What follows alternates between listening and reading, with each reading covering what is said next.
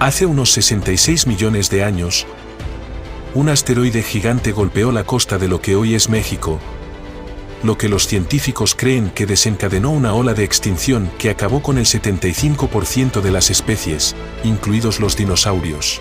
Los científicos han demostrado cómo fue el último día de la flora y la fauna en la Tierra.